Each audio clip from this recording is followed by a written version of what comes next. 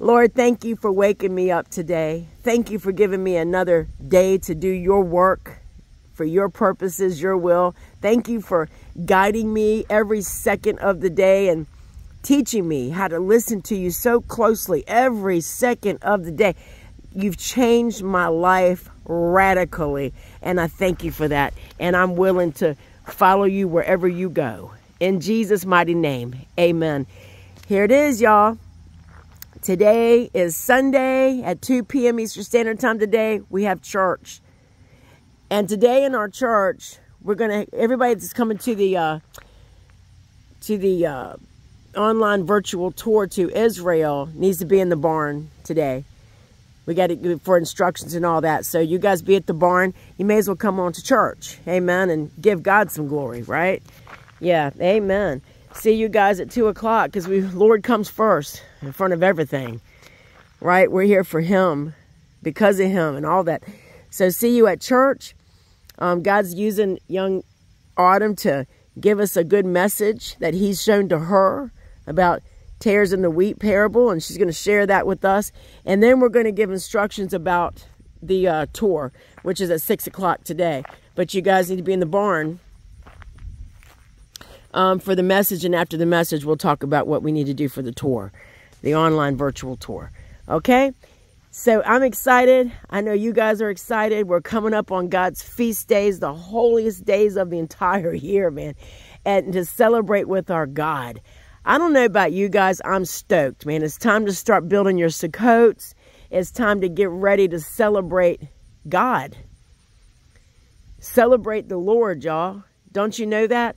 And and if you don't, I see there's a lot of people on YouTube that don't understand God. They don't even know who Jesus Christ is. They really don't. Jesus Christ has cleaned everything, y'all, that was dirty. Things were dirty, not because God, like a pig, God didn't create a pig to be dirty. Sin made that pig dirty. You made that pig dirty, okay? Your sin. Jesus come to clean everything, anything. Yeah, clean it, right? So, like Jesus was talking to his disciples, Paul was talking to them and everything. He's like, if y'all want to eat a pig, because somebody came by and made a ridiculous comment about, well, so if I wanted you to feed you cat and dog and rat at my house, it's okay. I'm like, bless your heart. If you eat, if you eat cat, dogs, and rats, if you need help with food, I'll be happy to help you. But I don't know who in their right mind would eat cat, dog, and rats. Uh, pork, everybody eats pork, okay? A lot of people eat pork, but certain religions don't. But pork is edible meat, okay? um, cat, dog, rats not meant to be eaten, you know. So, I mean, somebody needs some education there. A little education, education, okay? So what Jesus said about the pork and the shelled seafood, and what Paul said, is if you're in Christ Jesus, it was it's the law about eating pork, y'all, ain't about because it's a pig people like that miss the point, okay? This is what Jesus said. Y'all miss the point. The point is you. Your sin makes it unclean. Jesus said, if you're in me, everything that I've created you to eat is meant to be eaten with thanksgiving. So receive a pig with thanksgiving. Receive seafood with thanksgiving. They're meant to be food. Your cat and dog, bless your heart, is not meant to be your food. Okay, I'm sorry that you don't understand that, but I'm willing to help you. Okay, I really am. All right. But Jesus said, if somebody wants to eat pork and you're in Christ Jesus, do you understand how powerful the blood of Jesus is, covers and makes that pig clean? Anything that goes through your body is clean. So if you want to eat pork, as it passes through you, it's clean because Jesus is going to come out the other end anyway. It's just going to go right through you. So it's not the pork itself that's not clean. It's you that makes it unclean with your sin. Jesus is talking about your sin, y'all. Father God, maybe this person don't believe in Jesus. That, you know, it's just hitting me. They don't believe in Jesus. Okay, so I understand why, why they're making these silly comments. These people are against Jesus. Yeah? You don't know who Jesus is. And Jesus told me that when I was with him. He said, My own people don't know my word. That means they don't know me because Jesus is the word. They don't know Jesus, y'all. So, anyway, those of you that do and that you're growing and That's just a couple of people. That's just like one person really that doesn't seem to understand. I think I've had two people that don't understand Jesus on that level, what he does to purify and cleanse. But for the most part, I've got 99 out of 100 that do. you know, but sometimes you run to all kind of people on the internet, y'all, that just, well, they don't want Jesus. That's all there is to it. But those of us that love Jesus and out here working for him and his word, giving you his word, uh, people want to try to give us a hard time. But these are people that, well, like, listen, the same individual that was saying this stuff emailed one of our people in the group. Okay? So these people are, they're tares in the wheat. That's what they are. They need your prayers, but they don't need your support. They need your prayers. Matter of fact, what God said when people out here trying to start trouble like that, He said, get away from them. They're not of me. And they're not here to receive me. They're not even looking for me. They're here to try, they're here to try to destroy you and me, God says. You understand? So you guys be careful. There's demons crawling all over the place out here, y'all. One of them crawled in my own front yard. he sure did. One of them crawled right in my house. But God made sure. I knew right away something was wrong. God made sure Kim open your door and tell that demon to get out. Kim, tares are in the wheat. They're here to try to destroy. It will manifest. It will manifest. Just continue to teach. Show kindness like you do, Kim. Show love like you do. Continue to help these people like you do. And these demons will manifest. And they are, and they have, and they are, y'all. They manifesting, and some of you be like, wow. And these demons are pulling a couple people out of the church with them. Just a couple. But these people were never really walking right with the Lord in the first place, y'all. So, there's, but a lot of you are. So, y'all, we're on a tight, tight, narrow road. You understand? And here, it's a short walk, though. It's a long walk to heaven, short walk straight to hell, man. It's a narrow road, very narrow that gets to heaven. It's a little bit of a walk, hike there. Hell is wide, man. You just take one step, you falling in. You know, it's real easy to fall into hell. You got to sacrifice to walk with the Lord, y'all. Put up do sacrifices, submissions, sacrifices, all got to be out of love. And you should be out of love. You got to learn love, y'all. And when you learn to love Jesus, you learn to love other people. And when you love other people, you won't be out here trying to destroy God's kingdom. So you know a Christian by the fruits they bear, right? Like my fruits, you see fruit spitting out all over the place, don't you? You know you do. Some of you, I see your fruits pouring out all over the place. But then you also know Satan by his rotten fruits, right? You see some of that too. So you guys, now's the time. Get get right with Jesus. Walk with Jesus. Continue in walking with Jesus. You can't walk with Jesus, y'all, if you're walking all around him. Okay? What he what he tells you to do, he's not going to change his mind later. What he tells you to do is permanent. Stay at where he puts you. Continue into where he's put you and what he's got you doing, stay in it. Anything that's veering you off to another road is not Jesus. It's the devil himself. And some people follow the devil. They do. Even in the church. They really do. But you know what, y'all? Those of us that's abiding in, walking with, continuing in, rock solid man with Jesus, and we know God. We know He's not confused. We're continuing in. He's blessing the heck out of us. Me, the day that I lost somebody in my ministry, that was a lot of help to me. That was well, that person was a lot of help. But it's not that I couldn't do what they did. It was just help. And and they were help. And they didn't give a notice or anything. Just boom, I'm done. Boom, gone. Well, that's that's not a true Christian that will do that just walk off and leave. Boom, done from a church, from, from God's work. That's not a that's not how a Christian works. Like any moral person, you give a week or two notice, something like that. Gives person time to find somebody else, and then you know you do you go you go. But just to walk off, that's an insecure, scared, no, I've done something wrong person. So they kind of leave you there holding the bag of all of God's work, right? So I heard God that day in my car. He said, My daughter, don't worry. He said, I'm going to give you something better. Better? Okay. What the world? Who could this be? Because you can't trust everybody with, with what God has given to you. I'll tell you that right now. It's, that's proven to be a fact. They don't care about it like you do. When God gives you something, but you know what he gave me? He did. About a month later, here come somebody even better. I'm talking about better as in I can trust this person 100%. I know this person will never, ever, ever be out to try to hurt me or try to kill our ministry or try to. They, this person won't do that. This person is my family.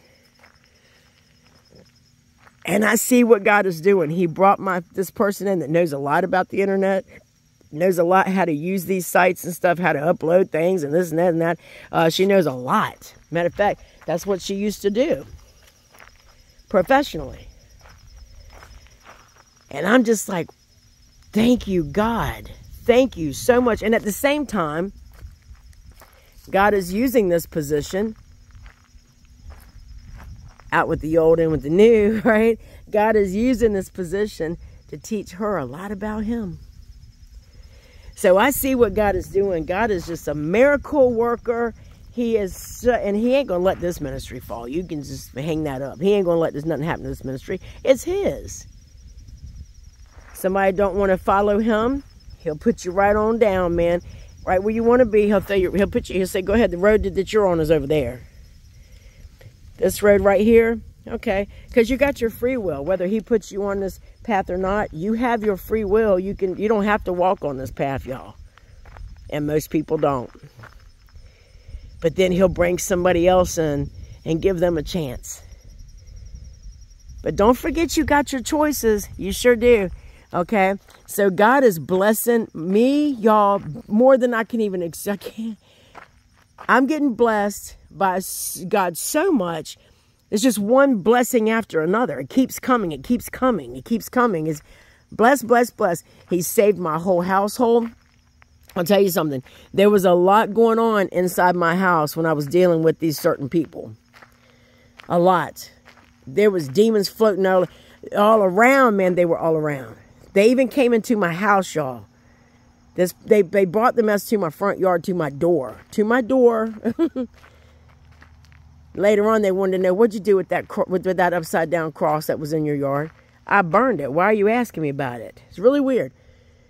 Things were falling off the wall when they were here in my house. uh, really strange stuff, man. I knew exactly what was going on. I got up and I laid my hand on this person. I knew what was going on. I said, let me get some oil. And I laid my hand on this person and I prayed for that person big time.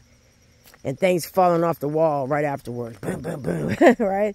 And so I walked up to the front door and opened and said, Get out, Satan. Get out, get out, get out, get out. You're not welcome here. The person, they can stay here. But Satan, you can't. You got to go. Get out of my house. And that's exactly what I did. And within four hours, that person was so yancy, so antsy. Um, it was four in the morning. They already had their stuff packed, standing in the, just standing in my living room, uh, scared to death. Uh, looked like they were shaking like a leaf on a tree, not knowing what to do. Like, I got to get out there. Like, I got to go. I got to go. I got to go. I got to go. I got to go. I got to go. I got to go. I'm like, wow, what's the matter? We, you know, well, I know what's the matter. I just kicked that demon out. That person, that demon that was in that person, you can't, that, that demon can't stay here. This person can stay here, but that demon, you're not allowed in my house.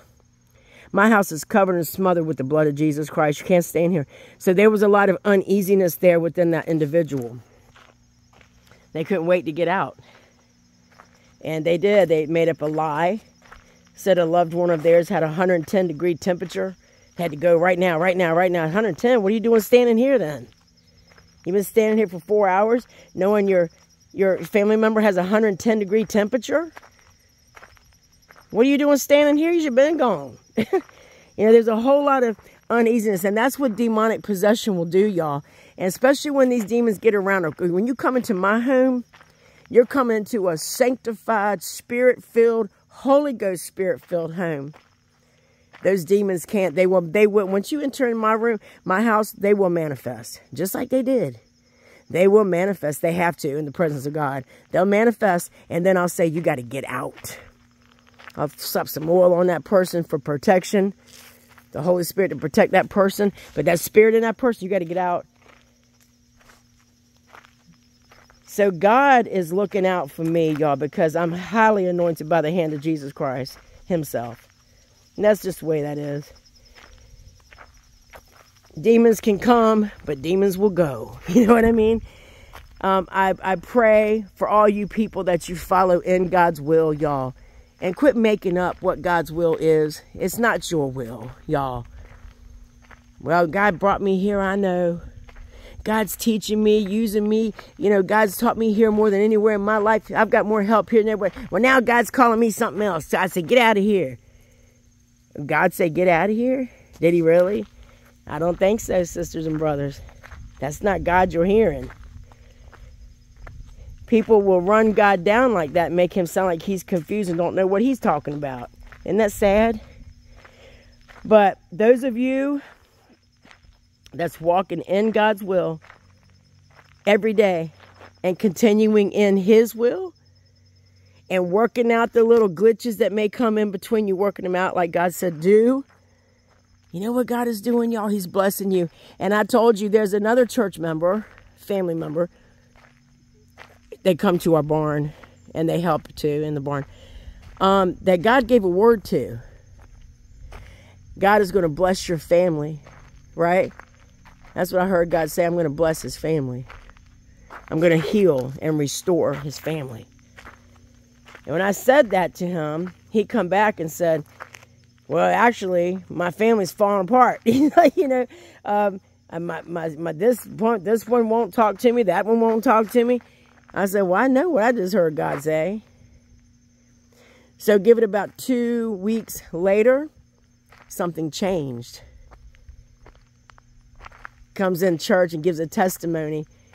God has restored my relationship with this one and, and healing that one. And, and now we're going camping and all this stuff. I said, Did I not tell you what Jesus told me?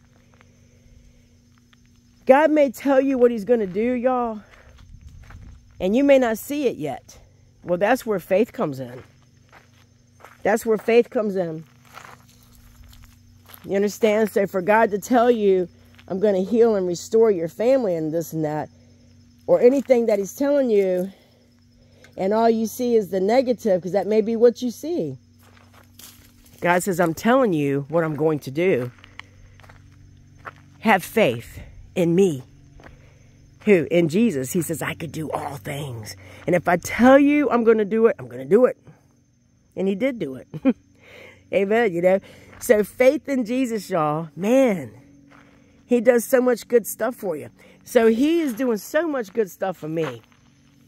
What the devil tried to do to try to hurt us here in this church, God gave me something even better.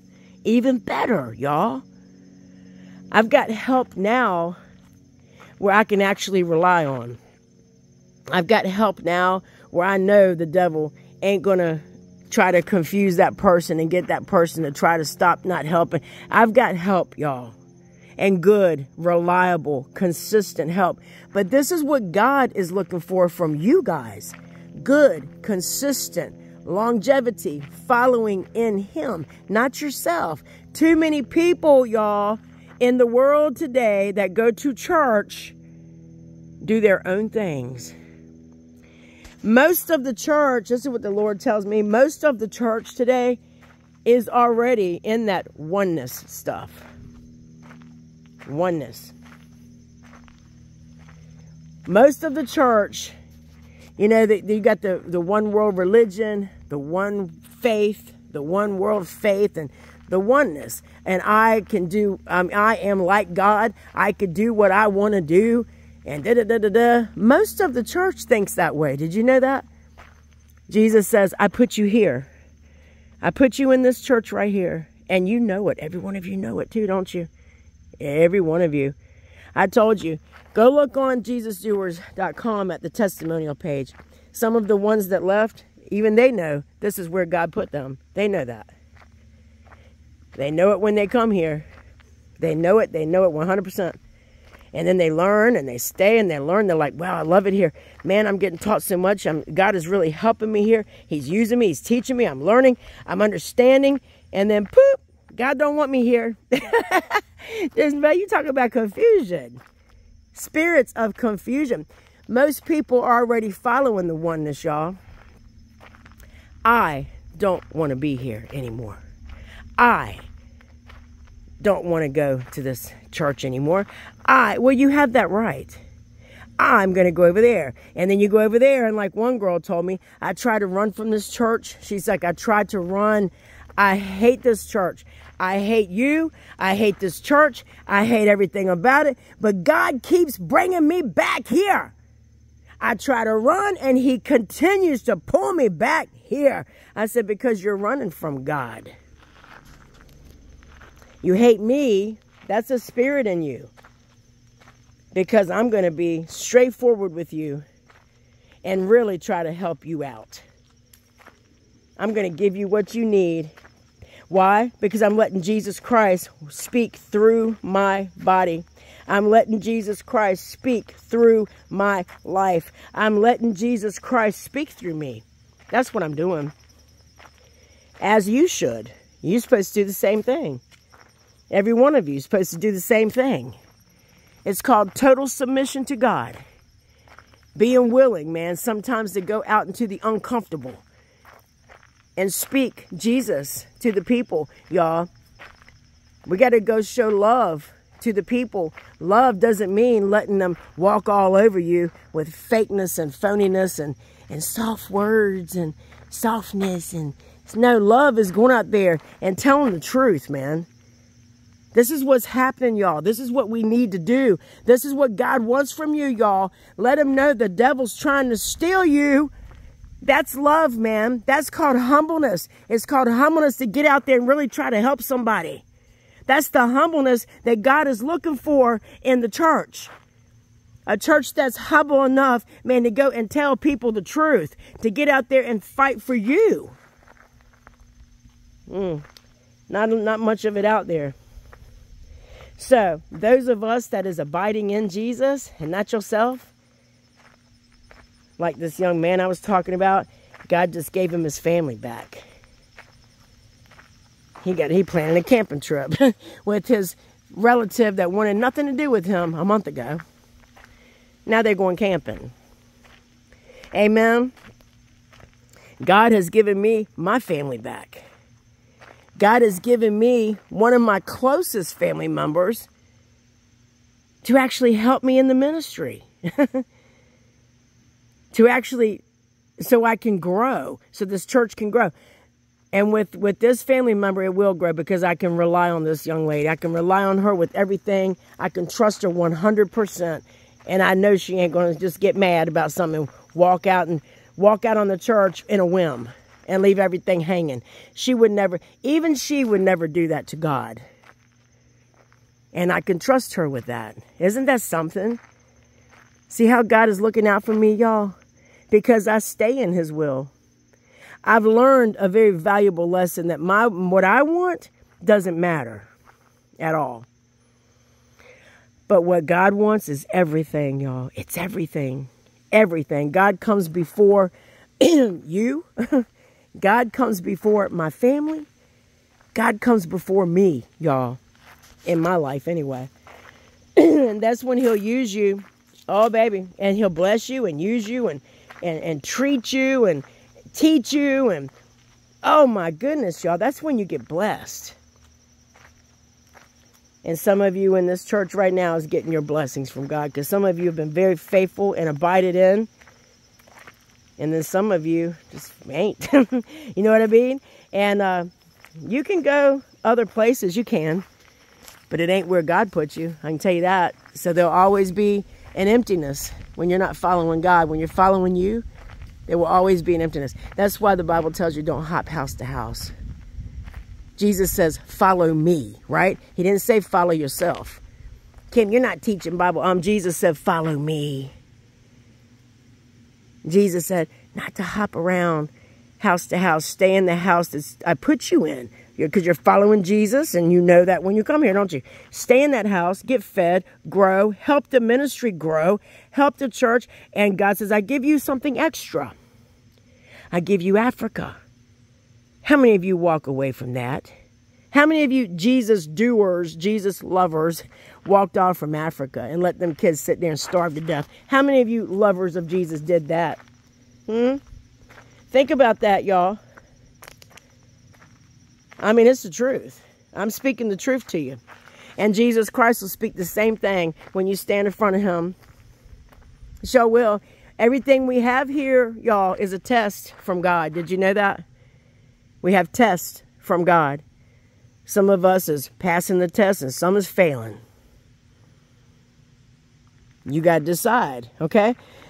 And now, those of us, and get back to this, that is passing his test because we choose to. He's blessing us, y'all. We know right now we can't get to Israel. We can't get there right now. Who in the right mind would want to go there right now? There, I know a couple weeks ago they wasn't even letting Americans in. In there. So God gave us as a church. He's rewarding those of us in here, y'all, that's faithful to him.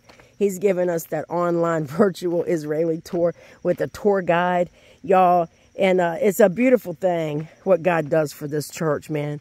I love him, y'all. I'm so excited. His feast days are coming up. I'm so excited. It's time to build your Sukkot. I'm stoked. I'm totally stoked. We'll do an order of service out, out of my tabernacle that my husband's going to build. We'll do the order of service out of there. You guys get yourself all your burnt offerings together for the Lord. And that's not money. I'm not talking about that yet. I'm talking about your burnt offerings. That's willingness to submit to Jesus. Be willing to do what Jesus said to do. If you've done some wrong things, y'all, like you've done wrong to your church, reach out to your church and make, make amends. Make it right. Say your I'm sorries. Admit your wrongs, man, and say I'm, I'm sorry. And there you go get get stuff moving, get stuff worked out. If not, you're in got you're in your own will, okay? And that's not following Jesus. And this is my humbleness to reach out and tell you that. You understand? This is my fruits of my spirit. The spirit of Jesus Christ that's in me. To reach out and try to help put you back on the narrow road the best I can because I don't have the ability to save you. But I know what you need to do. Right? Yeah? And there you go. So I encourage you to do so because God wants to bless you. Get back to the church God placed you in. Do the studies God has given you to learn from Him so He can use you. Help your church.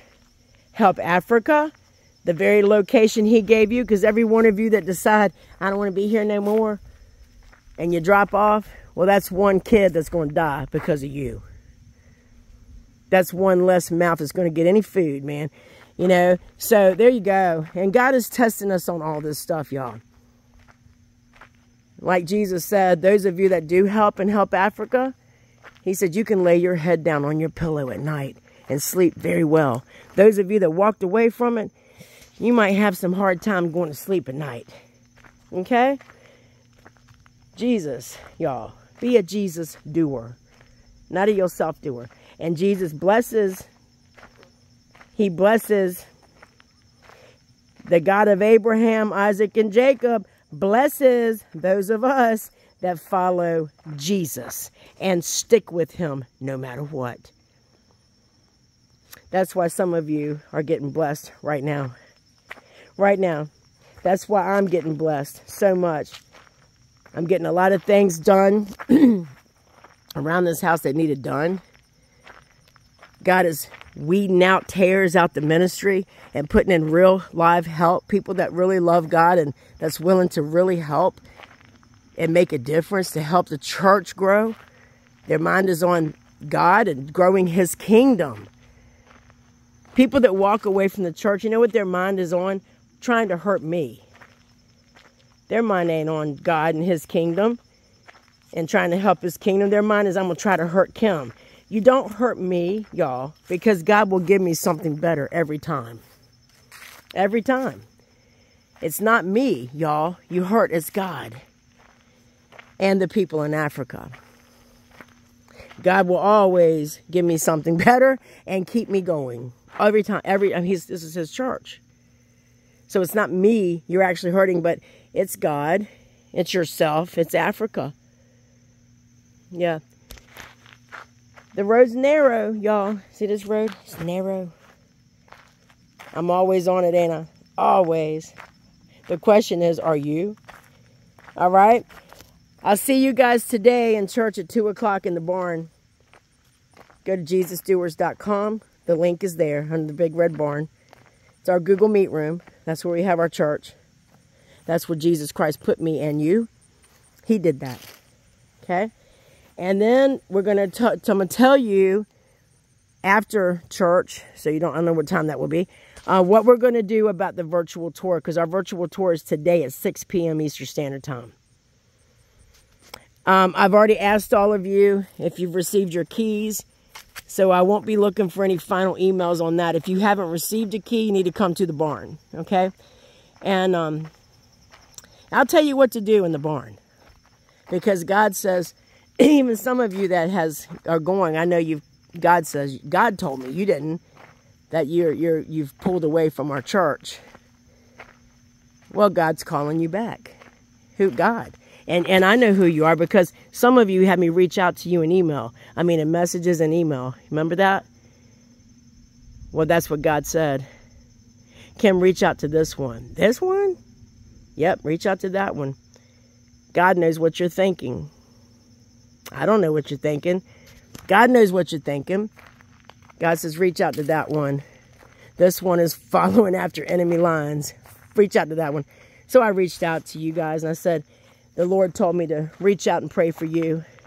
He knows what's on your mind. Remember that, y'all? Yeah? Well, he knows what you're what you're up to. And God says you're not in my will. And I have to tell you that. And you get to choose. But I tell you, those of us that's in his will, y'all, he blesses. He blesses us. What more do y'all want? You want to be blessed? Who wants to be blessed in here? Then follow the Lord, man. And people don't know. And when you say that, people say, I do follow the Lord. No, you're following yourself, man. One day you know what God is doing, this, this, and that. I know, I know because I'm getting the word, I'm learning the word, I'm learning, I'm good. That's God, baby. That's God that does that. Anything else? Anybody try to pull you away from that? That's not God, y'all. God's not going to tear people away from God, okay? So y'all get, y'all come on now, church. You got to wake up. There's too much oneness in the church today. That we got to be one with ourselves. One with ourselves. It's all about you, ain't it? That's how it is today in churches. It's whatever you want goes. Well, I'm sorry. That's not the narrow way, y'all. The narrow way is whatever God wants goes.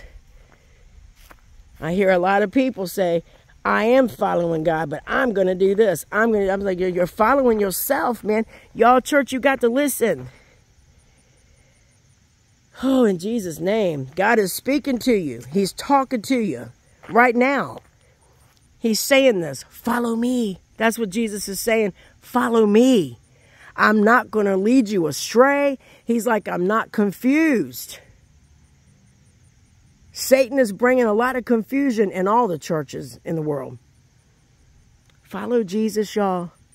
We're at the last hour. You understand this? Please understand this. And I saw a lot of quote unquote people thought they were Christians going to hell, y'all. And I know why they're going. I know why, okay? And I'm seeing people do the very things that's going to carry their soul straight to hell. So you guys have to start doing things God's way if you're walking with God. It's got to be his way, y'all not yours, his way. All right. I love you guys. I'll see you guys at 2 o'clock Eastern Standard Time today in the barn. Just a couple hours. JesusDoers.com, Big Red Barn. God bless y'all. Get ready. I'm excited. I'm excited, y'all. God, like I said, He's blessing. This is a big fat blessing to do this big tour with you guys. I'm so excited. And it is so almost like you're there kind of thing. And it's the best we can get right now since we can't actually get there. So thank you, Jesus, man. What a, God really blesses our church, y'all. He does. He keeps on blessing and blessing and blessing and blessing. Thank you, Jesus. Thank you. God bless you. I'll see you all today at 2 o'clock.